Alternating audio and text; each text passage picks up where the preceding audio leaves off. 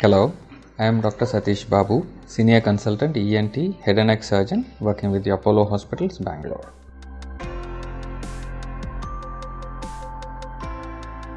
This is a major misconception or a myth among uh, common people that there will be a voice change happening after the uh, tonsil surgery.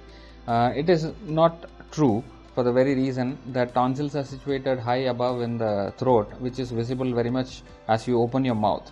Whereas the voice box is much lower down, and um, there is no way we can uh, damage the voice box or do anything to change the voice.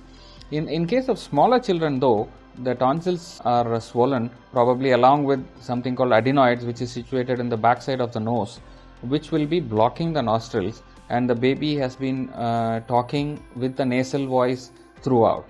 And once you do a surgery, uh, tonsillectomy, along with the adenoid removal, then the nasal passage opens up and the baby's original voice comes back. That will be definitely a different voice compared to a blocked nose voice, uh, like we all get during a normal cold sort of uh, situation. So uh, there is definitely no voice change, uh, you know, happening because of just doing tonsillectomy.